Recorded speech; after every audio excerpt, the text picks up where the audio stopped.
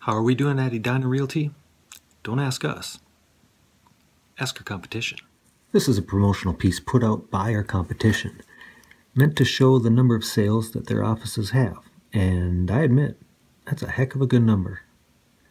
What it doesn't tell you, though, is that that same service area is serviced by these three Edina Realty offices.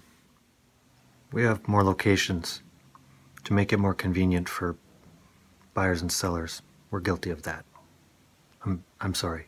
If we add those three numbers up, that one, that one, and that one, it ends up being, see, so carry the one, four. I don't know, it gets confusing when it's over 1,500. Whether it's here in Elk River, or Monticello, or Buffalo, right in Sherburne County, we got you covered. Nobody is selling more.